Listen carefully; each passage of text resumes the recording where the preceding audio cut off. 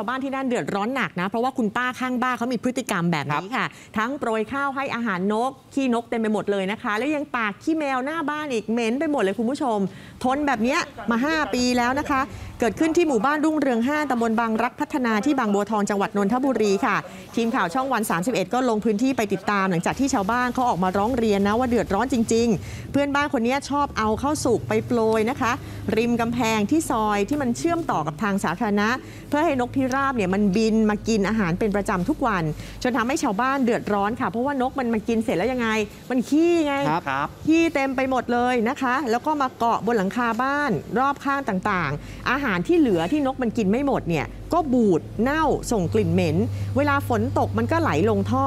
ท่อก็เน่า ท่ออุดตันอีกนะคะ นอกจากนั้นนะคะ ระหว่างที่พูดคุยสัมภาษณ์ระหว่างผู้นำหมู่บ้านและป้าเนี่ยก็มีการทะเลาะโต้เถียงกันไปมาตลอดการสัมภาษณ์ จนต้องทำให้หยุดการสัมภาษณ์ และไปคุยกันดีๆก่อนค่ะ แล้วค่อยกลับมาสัมภาษณ์อีกครั้งลองไปฟังค่ะ บ้าจริงๆเลย ไม่รู้เป็นประธานไปได้ยังไงใครเลือกมาก็ไม่รู้จริงๆอะมันมันไม่ใช่อะคุณป้าคุณป้าอย่าอย่าพลาดเพียงอย่าก้าวร้าวอย่าไปนั่นคนอื่นเขามันไม่ดีป้าไม่น่าไม่ให้เขาเลยอะคุณป้า รับปากแล้วทั้งตำรวจมาทั้งปลัดอำเภอมาทั้งช่องทุกช่องมาเออมาเทศบาลมาทางคุณป้าช่องก็ไปรับเชิญปากมาเลยเดี๋ยวจะให้สัมภาษณ์เนี่ย บอกว่าแรกแรกเข้าใจไหมพูดไม่รู้ภาษาคนเวลาให้อาหารแมวนกมันกินฉันไปบอกมันได้เหรอบอกอย่าลงมากินนะแต่ตอนนี้ฉันจะให้ตอนอันนี้อันนี้ตอนนี้ฉันจะให้ตอนมืดตอนมืดมืดตอนมันยังไม่ตื่นเนี่ย โอ้โหรุนแรงนะดุเดือดมากเลยนะฮะค่ะอะพอคุณป้าเขาอารมณ์เย็นลงแล้วเนี่ยเราก็เลยเปิดใจคุย คุณป้าที่ถูกร้องเรียนเนี่ยอายุ 73 นะฮะบอกว่าจริง ๆ แล้วเจตนาคือต้องการให้อาหารแมว แต่นกอะมันมากินเองค่ะไม่ได้ต้องการจะให้อาหารนกสักหน่อย เพราะเป็นคนรักสัตว์เอาล่ะ ตอนนี้รู้แล้วว่าเกิดปัญหา และทำให้คนเดือดร้อน แต่ขอได้ไหมล่ะ ขอยังให้อาหารแมวอยู่ได้ไหมแต่นกเนี่ยไม่พูดถึงนะอืม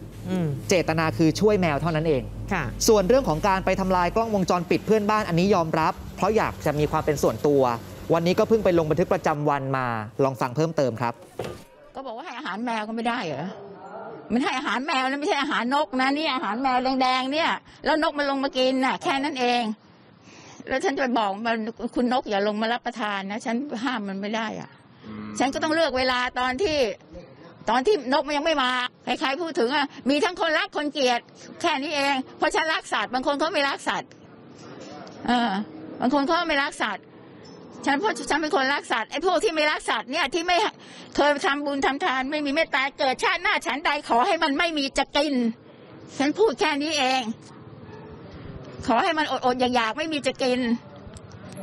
ส่วนเพื่อนบ้านที่อยู่ติดกันคุณประสงค์ชมเชยอายุ 71 ปีนะคะ ก็เล่าให้ฟังบอกว่าเดือดร้อนหนักจริง ๆ ทั้งทางกลิ่นและเสียงเลย ก่อนหน้านี้ก็เคยคุยตักเตือนไปแล้ว แต่กลับโดนด่าทอ แล้วก็ทำกริยาไม่สุภาพใส่ ก็แจ้งทางผู้นำหมู่บ้านไปแล้วเบื้องต้นเพราะมันทนไม่ไหวจริงๆ คุณผู้ชม ล่าสุดคุณป้าเนี่ยยังไม่หยุดทำนะคะ เพื่อนบ้านคนนี้เขาขอยืนยันด้วยคลิปจากกล้องค่ะข้าวที่ที่เหลือเหม็นเปรี้ยวขี้นกมาหลังคาในโรงรถผม ขี้ใส่หลังคารถขี้หน้าเทเลสเท้าเฮาบอกบอกครับทั้งพูดดี ทั้งต่อว่า แต่ก็ถูกตะเพิดด่ากลับ เรื่องด่าไม่ได้แจ้ง แต่แจ้งเรื่องหมูนก เวลามันกระพือปีกก็เสียงดังขนก็ร่วงเต็ม บอกให้เขาเลิกตั้งนานแล้ว ทุกคนบอกเจ้าหน้าที่ที่ผมแจ้งเขาก็บอก แต่เขาไม่ทำ